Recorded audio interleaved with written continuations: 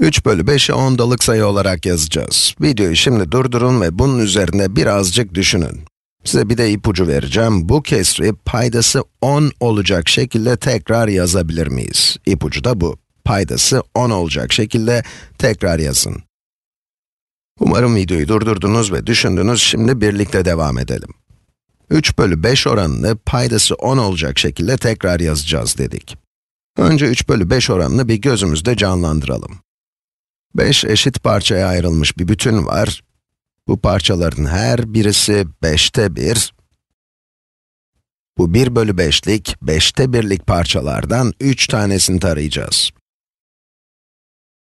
Burası bir tane 1 bölü 5, ikinci 1 bölü 5 ve üçüncü 1 bölü 5. Pembe ile taradığımız alan 3 bölü 5. Peki bunu 5'te birlik parçalar yerine 10'da birlik parçalar olarak göstermek istersem ne yapabilirim? Bu bütün alanı 10 eşit parçaya ayırabilirim, değil mi?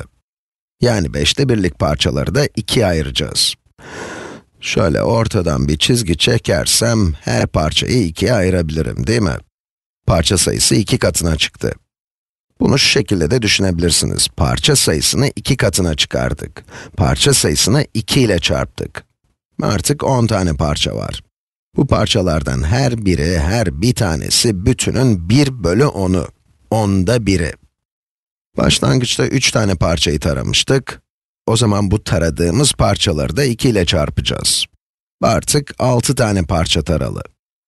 Kesrin hem payını hem de paydasını aynı sayı ile çarptık. Şekle baktığınızda bunun çok akla yatkın, çok mantıklı olduğunu görebiliyorsunuz. Başlangıçta her bir parça bütünün 1 bölü 5'iydi. Bu parçaları ikiye böldük, şimdi bu ufak parçaların her bir tanesi bütünün 1 bölü 10'u.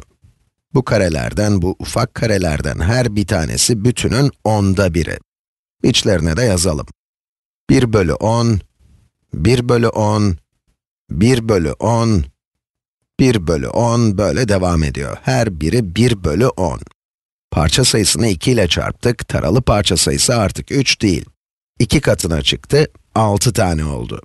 3 bölü 5 artık 6 bölü 10 oldu.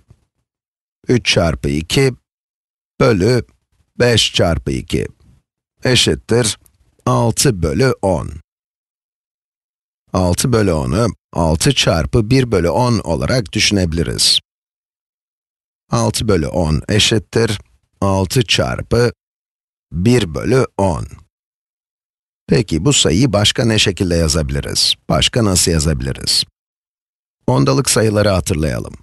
Birler basamağı, ondalık noktası, ondalık noktasından hemen sonra gelen basamak, onda birler basamağı değil mi? 6 çarpı 1 bölü 10'da kaç tane onda birlik var? 6 tane. O zaman bu kesri 0,6 olarak yazabiliriz. Bu eşittir 0,6. İşimiz tamam. 3 bölü 5'i 0,6 olarak yazabiliriz. Şahane.